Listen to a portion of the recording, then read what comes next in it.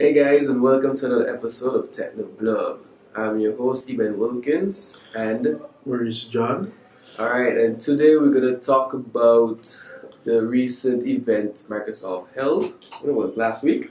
I think so. Last week, right? Their Build 2017 event. So stay tuned.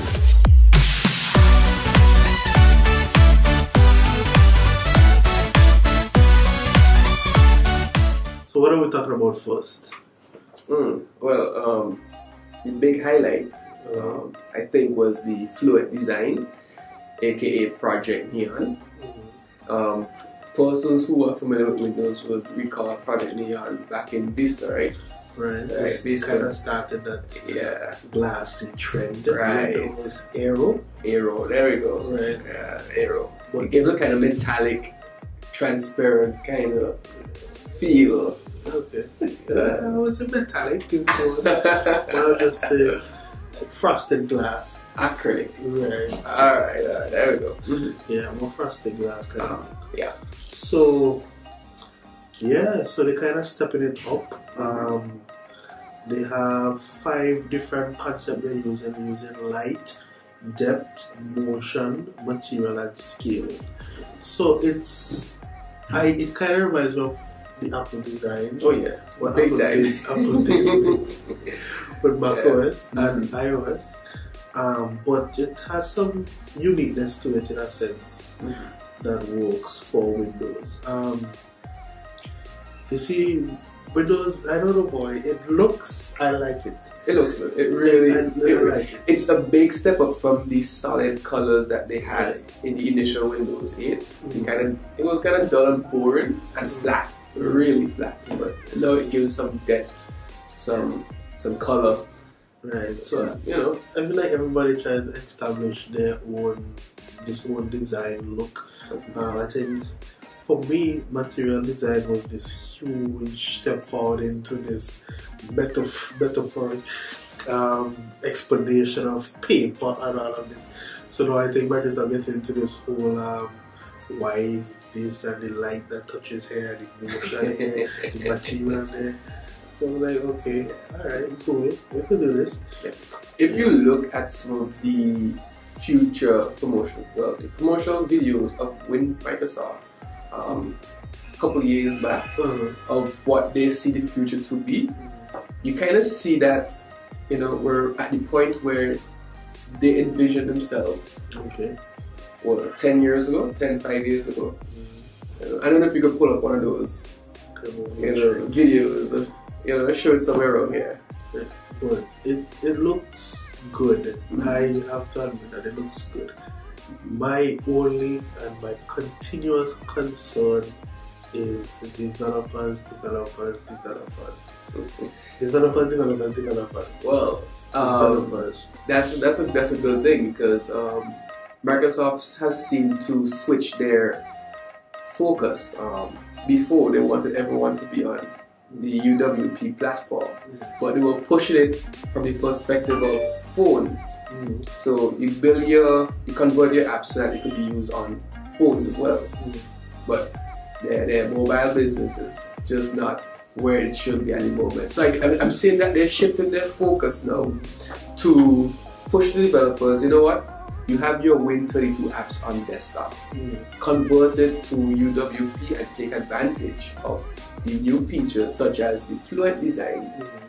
so that you can, you know, make your app pop more and be a bit more modern. Upgrade your apps to UWP now.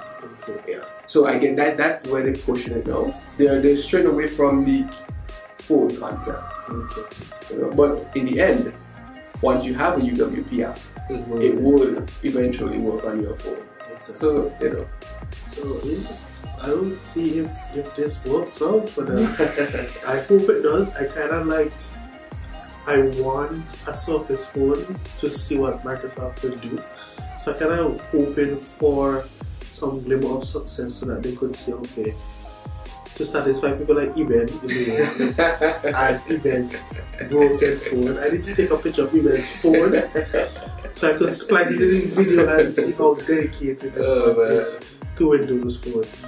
Yeah, so it's a, a look that is cool. Um, We'll see if it works. Uh, but yeah, Mm-hmm. that's that. Like that. So what else was in the news? Um, in the news, they also showed some mixed reality stuff, Mhm. some um, improvements on some of their productivity Mhm. um, softwares. But before the build, they Before announced yes, they announced Windows 10S right. And the Surface laptop, traditional and the Surface laptop. laptop. Ah. It reminds me of this laptop we have right now. With one difference, What key difference. Oh, the the, fabric. the fabric on the top. Yeah. What do you Oh. think, honestly, about Um, the fabric on the top? On a bit. I'm on. You're on I'm. I'm, I'm on. I'm on the borderline with the fabric. Uh, Yeah.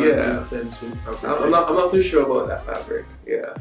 I'm, I'm putting my hands on it. Like, okay, it's cold. I'm getting that whole, oh, you want this soft touch.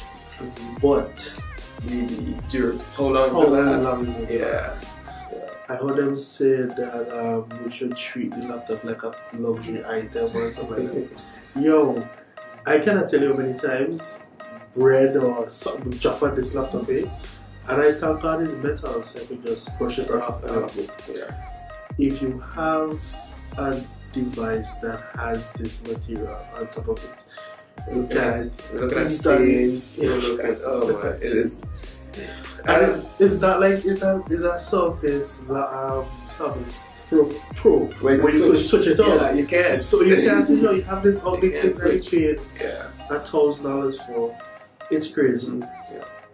And I do not like the fact that it starts at four gigs. In today's day and age, come on, give me eight gigs of RAM at least. Yeah, I uh, but it looks good though. It Alright. looks good. It is. It does look. It looks premium, and it's really big. It looks. It looks lovely. I would buy it if anybody. another another grind, huge grind. I was expecting USB-C.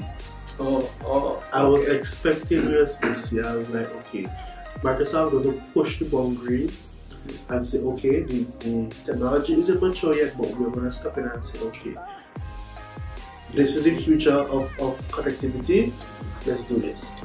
But It- did not. It's not USB C, but it is USB 3, Mm, It is right? USB-C. It's USB 3, but not C. Um, I think it's because most devices mm. are still do not have USB C in it. Yeah. Like peripheral devices, your mm. cameras, your God. they don't have USB-C. buy a So- device uh-huh. that is going to last you for the next three mm. years. Right. They, they, they're throwing this out as a school device. Mhm. So I am going to university, I'm going to university for three years. Mhm. I buy my device. You are telling me within the space of three years, this technology is outdated and I feel like I made a bad budget. I don't know. and in the next two, three years, we'll see how much devices have USB 3. Believe you're it. You get the power, you get display. Like, why put a mini display port Yeah. on this tablet? On this laptop, sorry.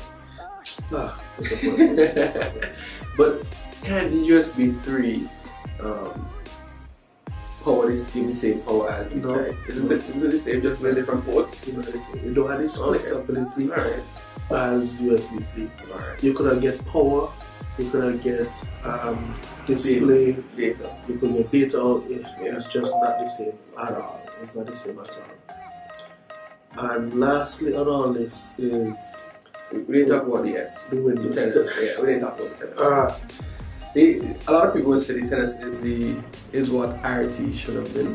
uh-huh. But I mean, I have no problem because it's a free upgrade to Windows Pro. So If you buy if this, you, if you buy the Surface Surface laptop, laptop. yeah, it's better laptop. Yeah.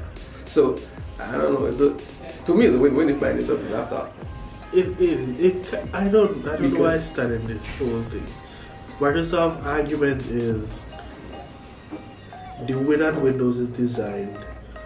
When you install apps from all over the internet and so, it slows down the machines. So schools were requesting devices that hey, Can be locked into ecosystem. locked into ecosystem. When Yeah. you when you take it out of the package, the performance that you have on day one, you should have it 30, 40, 100, 365 Yeah. days later. And Microsoft has more control over the apps that are installed through the App Store. But you, you need more apps to come to the App Store if this is going to work. And it's going to depend on Microsoft to actually get developers to say, hey, let me put my apps on them to the App Store. So it's all on them to get them get them to that point. I mean, I, I, I, I'm not sure what kind of deals um, developers have with these schools to produce apps specifically for the schools, but I'm guessing um, these this is information Microsoft has, so they made the bet on it. So, Well, so we, we will see. I mean, we'll see. Yeah. We'll see. I mean, it's, specifically built for schools and education systems. So, yeah. Well, we'll see, we'll see. But I know macOS, the App Store macOS was a huge fail in my in my honest opinion. Um, it works on the phone because nobody wants to go on the internet and search Exactly. around looking. Yeah. It's here at one place, but the freedom of the desktop kinda crosses out the need for just a one-stop shop kinda. I don't know. We'll see if it works. We'll see if it doesn't work.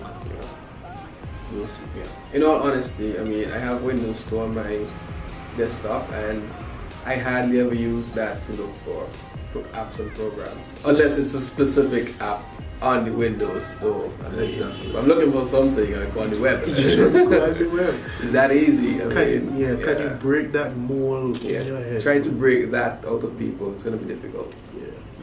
We definitely have to see how that goes. We have to see how that goes. Yeah. And that has been another episode of Techno Blurb. Thank you for joining us uh, with my co-chair.